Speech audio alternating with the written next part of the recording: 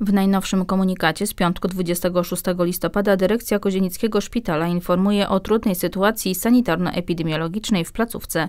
Zgodnie z decyzją wojewody mazowieckiego aktualnie szpital musi zapewnić 54 łóżka covidowe, w tym 5 łóżek z dostępem do respiratorów i kardiomonitorów oraz możliwością prowadzenia tlenoterapii i wentylacji mechanicznej.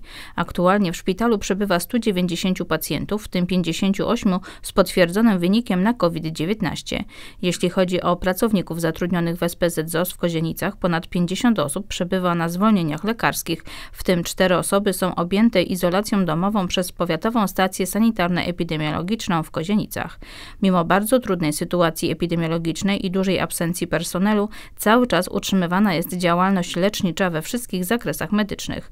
Ambulatoryjna opieka specjalistyczna, w tym poradnie, pracownie specjalistyczne oraz podstawowa opieka zdrowotna udzielają świadczeń zdrowotnych wszystkim zgłaszającym się pacjentom.